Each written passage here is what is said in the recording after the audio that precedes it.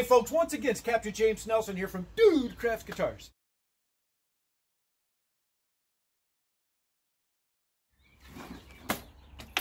Okay, we're going to lay out the neck and start getting it going. Um, not sure if I'm going to be able to glue it up right now because we got the body top right now on the clamps. So we'll see if I can find enough clamps around here. This is that uh, the Meranti that I like using. It's a, it's a mahogany that grows in the Philippines. So it's very much more porous than a lot of your desert type mahoganies and uh, it's kind of, I equate it and I know guys will tell me I'm, I'm a buffoon but I equate it much to swamp ash versus northern ash. Northern ash has a drier climate therefore it's a lot denser, harder, heavier wood, great for baseball bats. A little heavy for guitars but I like to use it anyway.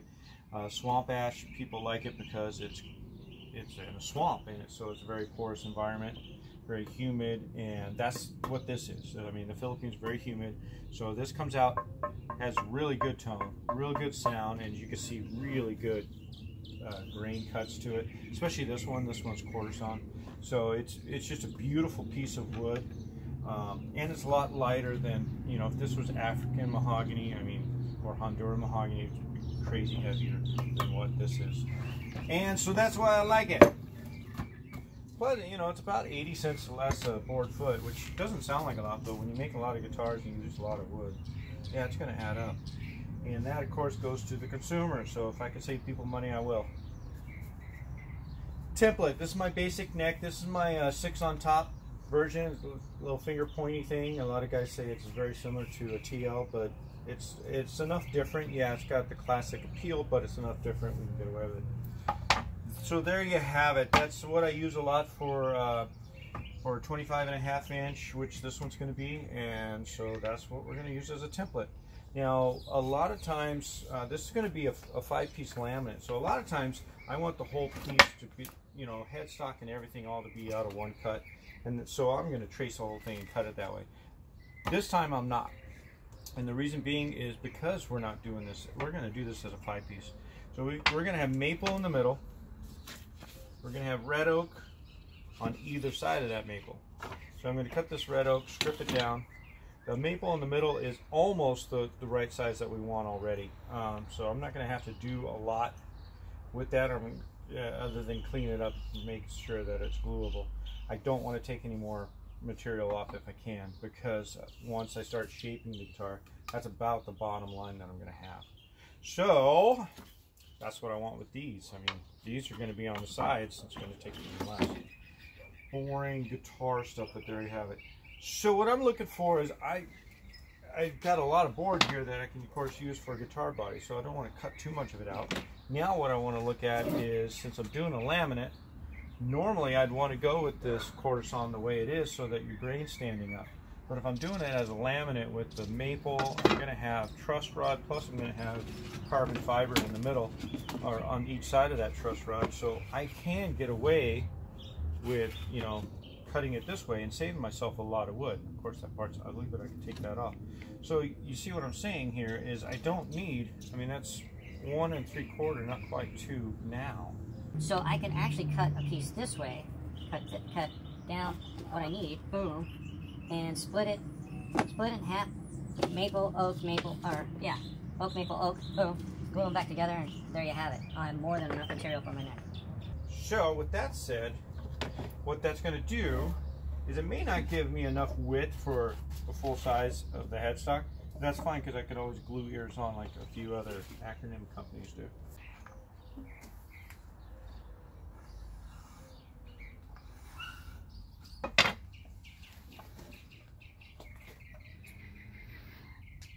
Like that. So I'm going to cut a little extra. And with my big ruler again. I'll tell you, it just moves all over. So I'm going to cut the whole length of this puppy, which means I'm just going to set my softness to it. It doesn't hurt to have a line to follow.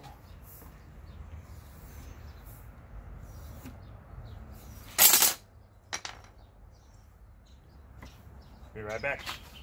Okay, that went pretty well. Um, in case you're wondering why I'm not showing you all the, the saw uh, stuffs, because I, I actually I do all my sawing outside. All the wood ends up being mulch for my yard, which is great, but not so good to film. Um, you know, the neighbor's dog might not want to be on camera. Anyway, but uh, that went pretty well. What we did is uh, when I cut this, the mahogany part, I was actually able to square up some chunks a little better than I thought. So, in doing that, I am going to still keep the the uh, vertical end grain.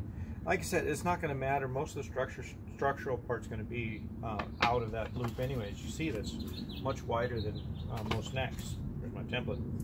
Um, but it, I, I, just makes it a little bit stronger, so why not? Now, what I, I do and don't have is I do have what looks like a pretty neat fit, but I don't trust it. That's what I don't have. I don't have trust in it. So I'm going to, I still see some gaps, so I'm going to uh, get a little planing going on. And then I'm going to sneeze. All right, that's what happens when you don't wear your uh, mask while cutting. so anyway, so as you can see, I, I, if I put some clamps on that, I can get that tight enough. But if you've got to put it under that much pressure, that big old fat gap, then you're not doing it correctly. It's better to just get it all planed out, all leveled out, and then you don't need as much clamping. And then you uh, make sure you won't have that dark glue line that shows up when you don't do it properly.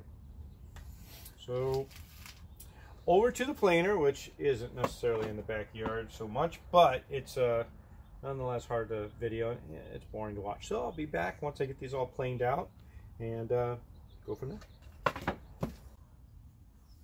Okay, all set. Uh, got the wood done and uh, got some grub. So that gave plenty of time for the clamps to be all, all ready to go. So probably what I'll do is start with, let's just take off these clamps here.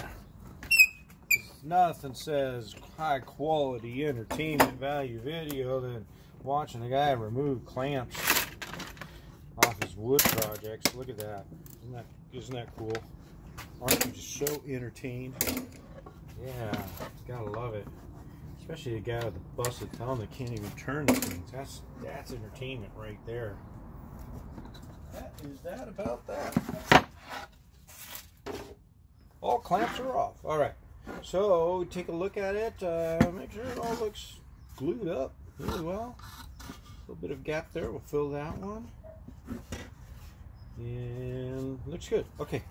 So tomorrow, or next time I start a video, we'll remove the screws and we'll run this thing through the planer and get it really nice and slick.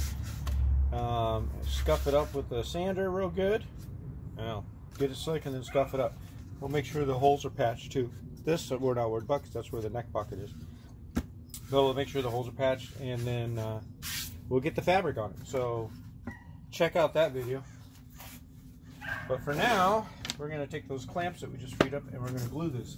Before we glue it, I normally like to put down some uh, wax paper, but I just checked and the only thing left is my wife's real nice parchment paper. She'll kill me if I use it. So I'll just do one of these.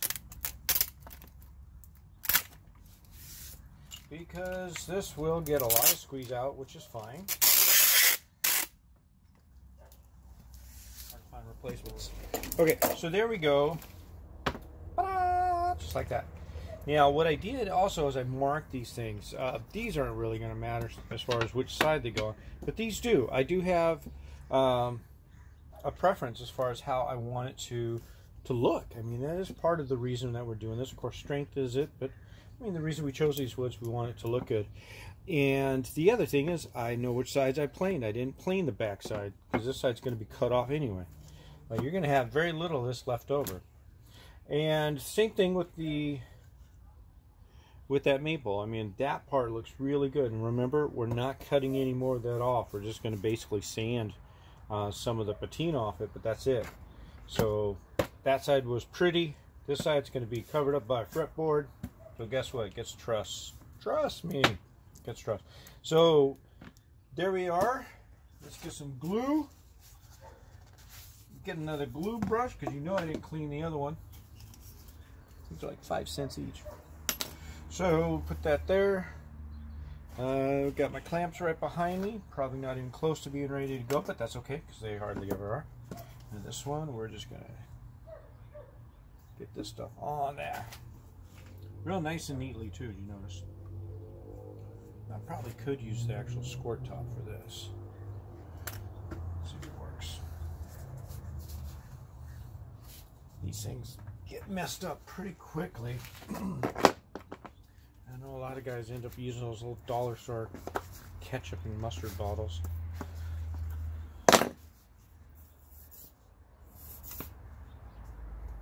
Yeah, and then you got to do that thing.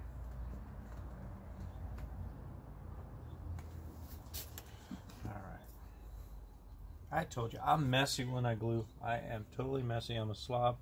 I see some of these guys that do this stuff. It's so pretty. Not me. Okay, so I'm going to put a little bit on just one side. You don't need to gob both sides, both pieces of wood. I know guys do. I might just do that, swipe the brush a little bit, but that's it. Okay, now, just let that sit for a sec while we get this one. And notice I'm gluing this one. The reason why I'm not gluing that one is because this is just one unit I have to worry about. So if I glue this, I only have one thing to hold up. If I go to glue on this one and start sliding off the other one, now I've got a mess that I've got to manage. And I'm a bit of a klutz enough as it is. I don't need any more help. Come on, Fleur. Want a little bit more glue. Stop standing up, James.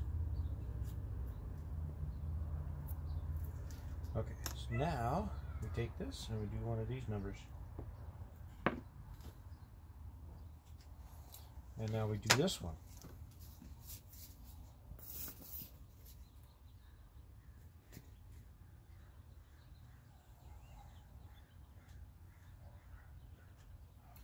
I used to laugh at people that did multi-laminate necks. I mean, I thought, yeah, they look pretty, but what's the point? They're not any stronger, are they? Yes, they are. Uh, a, like we mentioned, this Titebond can be stronger than wood many times.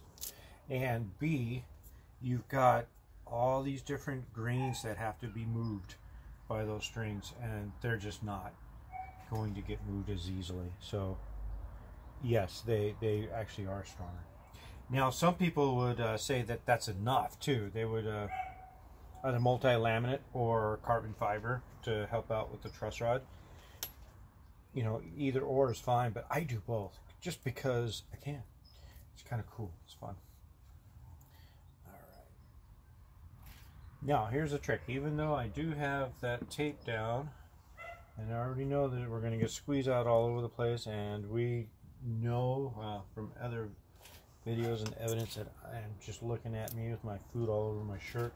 I am a bit of a slob, but I do still believe this all comes off a lot easier later on if we take and get most of that stuff off now. So we'll just do that now.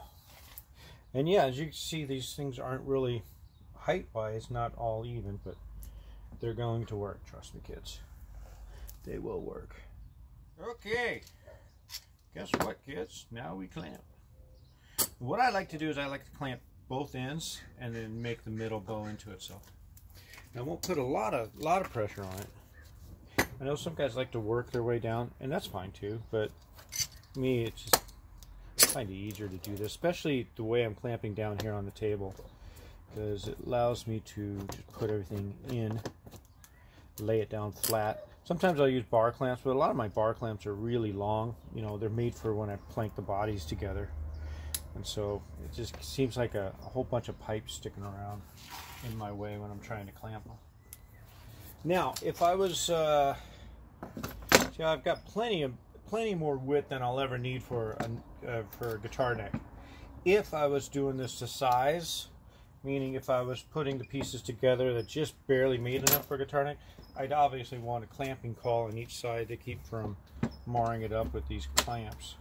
But I don't need to worry about that because this stuff's all going to get trimmed off. Again, there's going to be very little that mahogany, um, a little bit more than what you see on the red oak, but not much.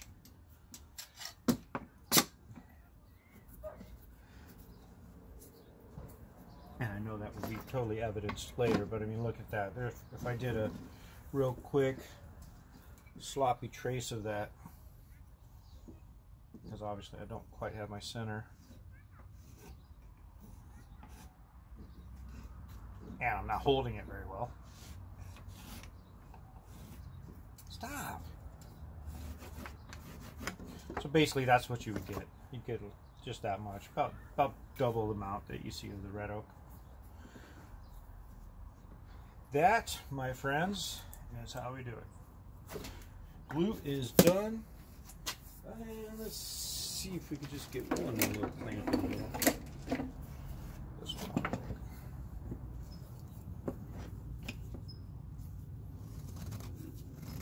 Just because I have it. Might as well. Sitting there, looking pretty, not getting used. Ta-da! Now that I am going to sit overnight because it's uh, late in the evening already, late enough anyway, and I am done. I'm, I'm cooked. I've been I've been doing a lot of work. Now I am done. So I'm going to go chillax. Well, after I put all my tools away, except for the clamps. And I'm done, Larry. Your uh, your your job's coming along, dude. Just you know, I might take these screws out. Nah, I won't. I'll leave them in. I'll take them out tomorrow. But uh, your job's coming on, so we got the top on. Great tone. Listen to that sound. I mean, that's with screws on. So with the screws off, it's going to ring a little bit more.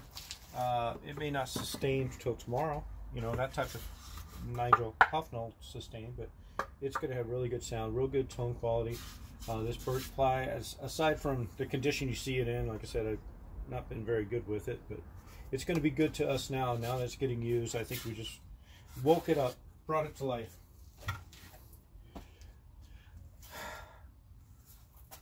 Two crooked thumbs up, and we are done for the night. Thank you.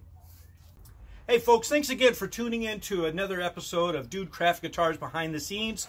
We hope you learned a little bit about what we do and why we like to do it. And, uh, you know, if that's the case, go ahead and hit the like button. And if you got a comment or two, go ahead and leave those, please. Share this video with friends. Hit the subscribe button. You'll know when the next one's coming out that way. Uh, we do a lot of stuff in parts and pieces, so you don't have to watch a long video. I hope you appreciate that. And we appreciate you coming along. Thanks.